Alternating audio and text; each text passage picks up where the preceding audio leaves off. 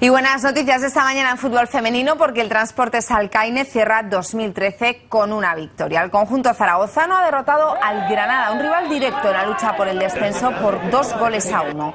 María Ciuraki en el último minuto de la primera parte ha adelantado al Alcaine de penalti. Nuria ha puesto el 2-0 en la segunda mitad y Ribi ha marcado el 2-1 a cinco minutos del final. Las aragonesas acaban el año fuera de descenso con cuatro puntos de ventaja. Nos falta rematar, volviendo a ganar fuera de casa el, sábado que viene. Sabemos que es un partido muy difícil, pero ya, ya lógicamente miraríamos la clasificación de otra manera. ¿no? Ahora lo importante era ganar en casa, no volver a perder puntos en casa con este tipo de rivales. Dejamos a cinco puntos el descenso, a expensas de lo que haga el Levante las Planas, pero, pero de alguna manera creo que, que empezamos a ver la